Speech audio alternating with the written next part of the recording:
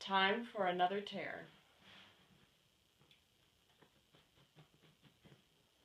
This area of the leather is really badly worn, so it's a great spot to demonstrate. I'm going to make this kind of a gnarly one, and I'm going to cut away a little extra, make it a bigger, more substantial hole that needs to be fixed.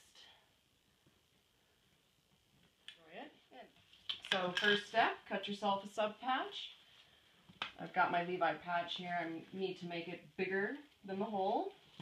I'll start from this piece actually, just chop off a piece. This fold can make it more difficult to work with sometimes, but I'm not worried about it. I'm going to round the edges for easier insertion.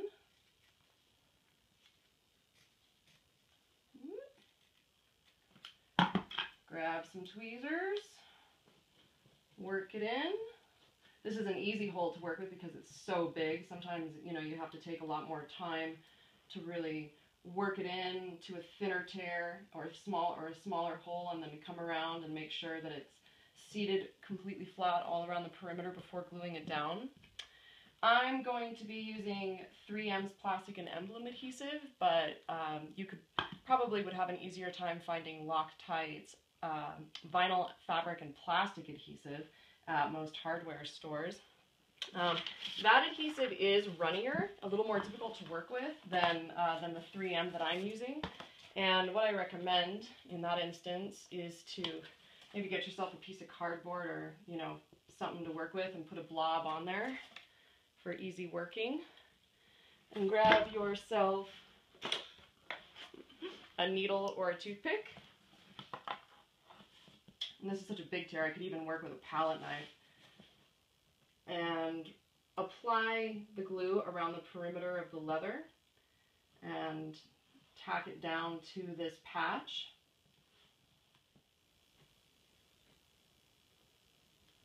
The key always, remember, to use a flexible glue, not a rigid glue like super glue. You need this to be flexible and move over the substrate independently. All right, so I'm pretty happy with that. Gently press it down. And then if you want, you can even use a hair dryer to help um, tack up the glue. Pull it up a little bit. You can even just blow in there.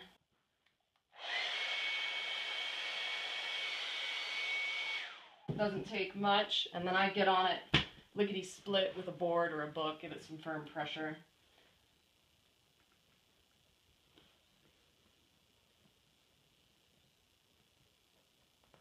And you want to let the glue completely dry and cure before proceeding with your repair. So I'm going to do that, walk away for a few minutes. So when your glue is dry, you want to clean your surface before doing a repair compound. And um, if you didn't get any excess glue around the perimeter, you can work with just a water-based cleaner like the Flight that we sell or 409. If you got a little messy with the glue or you feel like you need to de-wax this leather a little bit, you can work with a solvent like denatured alcohol.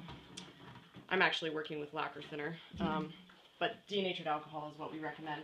Just a quick swipe, get off any, any armor all, any slime, allow it to evaporate. Try not to huff the rag when you're done. For a really large tear like this that requires flexibility, you want to repair compound, not the sandpaper superglue method that we've demonstrated in other videos, which is more rigid and only suited to more superficial damage like thin lines or cracks and cat scratch damage. So we really like ADV Leathers FC1 Soft Filler uh, because it is really strong and flexible. It sands really nicely. It's non-toxic, uh, water-based. What else? It feathers and blends really nicely. So you'll see that it's this creamy goo. Throw a blob in there. Really work it into these edges, the perimeter of the tear, in case you missed any spots with your glue. Uh, the compound will sort of act also as an adhesive.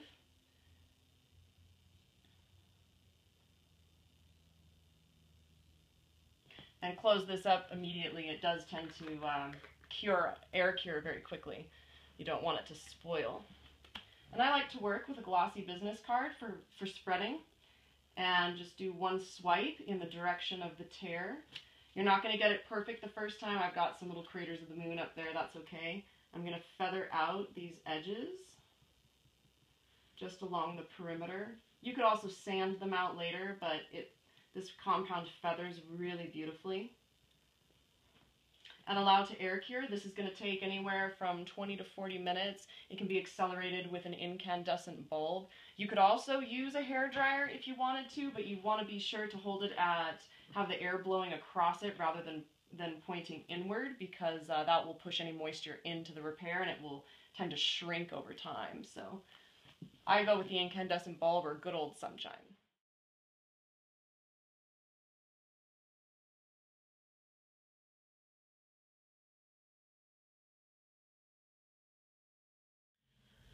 So when the compound is clear, has become more translucent, and when you sort of like press on it, it doesn't um, feel squishy at all, it feels solid, that means it's cured and it's you're ready to proceed with either more layers or dyeing. Um, this took longer to cure than I thought it would. It's a cold winter's day here in our studio, and even with a light bulb on it, um, it took about three or four hours. So if in doubt, just you know walk away, come back. Um, so it does feel, um, I've got a little ridge here that you can't really see, but I can feel a little unevenness, and um, to save myself trouble later, I'm actually going to start sanding here, and I've got some 220 wet or dry, and I'm just going to cut myself, I like to cut the pieces in half, and then fold them into thirds to make them easier to work with.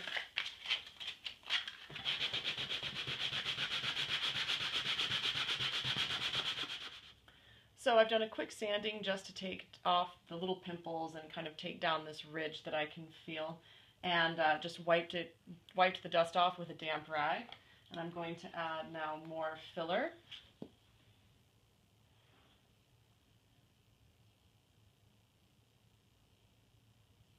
I'm coming over more to this edge to deal with this ridge.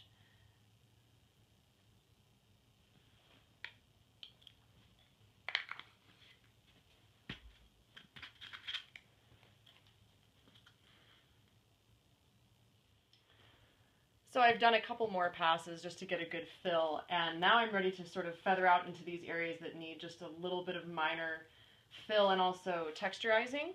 So I'm going to do one more quick round of sanding just to kind of rough it up, get off any little pimples, smooth it out, wipe it with a damp rag, let it dry. Make sure it's not, if you do use a hair dryer, don't make it too hot before applying more compound.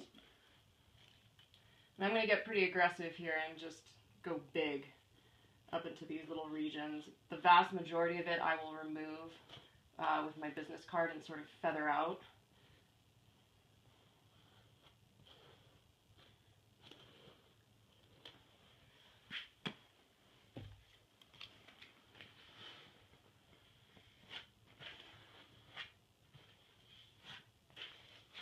And that's a really nice spread. But then to keep, you get these little lines in there that um, from the card or just, you know, it'll be too smooth if you don't texturize it. And I love to work with just a food handler's glove and sort of emboss the compound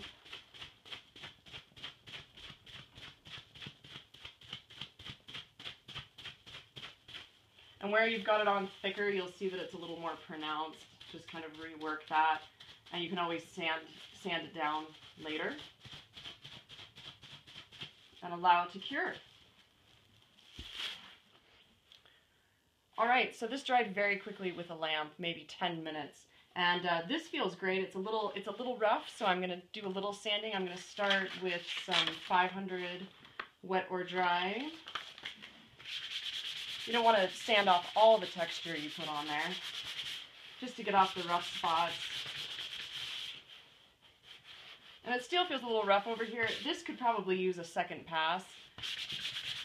But for the purposes of this video, I'm just going to quickly demonstrate um, just to see what it looks like when you dye it up. Because even if it feels great, you dye it and sometimes it doesn't necessarily look great. So we're going to color change to rust using our Rub 'n Restore.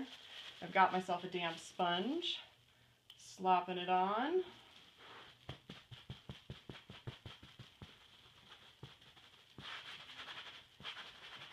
So if you want to go back later and rework your repair, you certainly can do that. Um, you can let the dye dry and then uh, remove some of it with some 409 or flight cleaner and a rag. You don't have to strip it all out. Just get like, you know, whatever comes off easily. Remove that, let it dry, and rework your repair. Because the proof in the pudding is how, is what it looks like when dyed. I'm going to dry this. So you can see the area where I, what I hacked open looks great, um, and it feels great too. It's really strong thanks to the sub patch.